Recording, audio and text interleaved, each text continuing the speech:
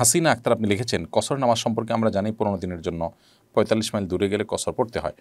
আমার জানার বিষয়, আমার দেশ থেকে চোদ্দ বা পনেরো দিনের ওমরার প্যাকেজ সৌদি আরবে নেওয়া হয়। উল্লেখিত দিনের জন্য সৌদি আরবে গেলে কি পূর্ণ নামাজ আদায় করব নাকি কসর আদায় করব?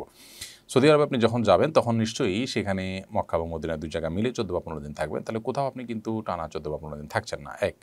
দ্বিতীয়ত হলো যে, আপনি সেখানে যে যে প্যাকেজে যান না কেন, সাধারণত হজেও যদি যান, তাহলে সেক্ষেত্রে আপনি একই জায়গায় এই পুরো সময়টা থাকছেন না, বরং আপনি সফরের উপরে থাকেন। বিধায় আপনি সেখানে মুসাফির হিসেবে গণ্য হবেন। তবে যদি আপনি সেখানে স্থানীয় ইমামের পিছনে নামাজ পড়েন, তাহলে তো পুরো নামাজই পড়বেন, যেভাবে ইমাম সাহেব পড়েন সেভাবে। আর যখন একাকি পড়বেন, তখন আপনি কসর নামাজ পড়বেন, যেহেতু আপনি সেখানে মুসাফির হিসাবে গণ্য থাকছেন, আপনি কোনো মুকিম সেখানে হচ্ছেন না, চোদ্দ বা পনেরো দিনের জন্য গেলে। নাজমুল ইসলাম, আপনি লিখেছেন, কেউ যদি রিটার্ন টিকিট করে তিন চার দিনের জন্য কোথাও সফর করে, তবে ওই সফর স্থলে অবস্থাকালীন এবং যাওয়া আসার সময় রাস্তা নামাজ কীভাবে পড়বেন? কসর না পুরো নামাজ? তিন চার দিনের জন্য যদি সফরের দূরত্বে যান, তাহলে তো তিনি যেখানে গেছেন সেখানেও কসর করবেন আর পথেও তিনি কসর করবেন।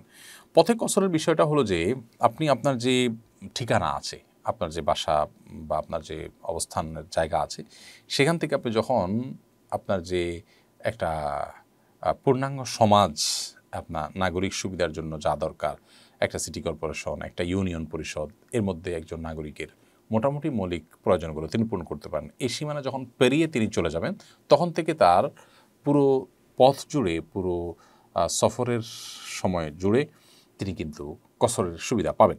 কিন্তু তার এরিয়ার মধ্যে থেকে তিনি এই সুবিধাটা পাবেন না। বাসা থেকে বের হলেই তিনি সুবিধা পেয়ে যাচ্ছেন, ব্যাপারটা এরকম না। তার এরিয়াটা ক্রস করলে তারপর তিনি এই সফরের সুবিধা ভোগ করবেন।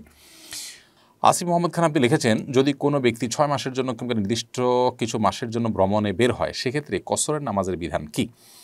ছয় মাসের জন্য কিংবা নির্দিষ্ট কিছু মাসের জন্য যদি ভ্রমণে চলে যান এবং সে একটা জায়গায় যদি আপনি থাকেন পুরো সময়টা, তাহলে সেখানে আপনি পুরো নামাজ পড়বেন, কসরের সুবিধা পাবেন না। আর যদি ছয় মাস ধরে বিভিন্ন জায়গায় আপনি ঘুরতে থাকেন, কোনো এক জায়গায় না থাকেন, তাহলে সেক্ষেত্রে আপনি মুসাফির হিসেবে গণ্য হবে এবং কসরের নামাজ আপনার উপরে প্রযোজ্য হবে। এমডি শাওন, আপনি লিখেছেন, আমি একটা দোকানের কর্মচারী, মসজিদে নামাজের সময় দোকানের কাস্টমার থাকলে কি দোকানের কাস্টমার রেখে নামাজ আদায় করা যাবে? এটি কি দোকানের মহাজনের হক নষ্ট হবে? দেখুন, সময় হলে, নামাজের ওয়াক্ত হলে নামাজ পড়তে হবে, এটা ফরজ। এটা আল্লাহ রব্বুল আলমিনের নির্দেশ। আল্লাহ রব্বুল আলমের এই নির্দেশ পালন করতে গিয়ে কারোর কোনো প্রকার অসুবিধা তৈরি হলেও সেটা আপনাকে করতেই হবে। তবে এ সমস্ত ক্ষেত্রে আগেভাগে বলে নেওয়া ভালো যে আপনার মহাজন বা মালিক যিনি আছেন, তিনি যেন আপনাকে এটা অ্যালাউ করেন। তিনি যদি অ্যালাউ না করেন, তাহলে সেক্ষেত্রে আপনি অন্য চাকরি খুঁজবেন, কিন্তু অবশ্যই আপনাকে নামাজের সময় নামাজ পড়তে হবে। আর নামাজের সময় নামাজ পড়- পড়তে যাওয়ার কারণে আপনার মালিকের ক্ষতি সেটা ধর্তব্য হবে না। তবে হ্যাঁ যদি কোনোভাবে মালিকের ক্ষতি না করে নামাজ পড়ার সুযোগ থাকে। যেমন একজন মসজিদে গিয়ে নামাজ পড়লেন একদিন, আরেকজন দোকানে দুজন মিলে জামাত করলেন। এভাবে পালাবদল করে করলেন, একটু আকপাস করে করলেন। অর্থাৎ এমনভাবে করলেন যে দোকানদারেরও ক্ষতি না হয় বা নামাজেরও অসুবিধা না হয়, তাহলে সেটা হবে সবচেয়ে উত্তম এবং দায়িত্বশীলতার কাজ। সাইদা ডালি আপনি লিখেছেন, আমি বোরকা পরে অফিস করি, কিন্তু অজুর জায়গাটা পুরুষ ও মহিলাদের একই জায়গায় হওয়ায় আমি হেজাবের উপর দিয়ে কানের পেছনে ও মাথা মাসে করি, আমার উজু হবে কিনা? হেজাবের ভিতর দিয়ে হাত ঢুকিয়ে আপনি মাথা মাসে করবেন। হেজাব মাথার উপরে থাকবে, ভিতর দিয়ে শুধু হাতটা দিয়ে আপনি মাথা মাসে করবেন। উপর দিয়ে করলে আপনার সে মাথা মাসে হবে না উজু হবে না, আপনাকে ভিতর দিয়ে বা চুলের উপরে আপনাকে মাথা মাসা করতে হবে।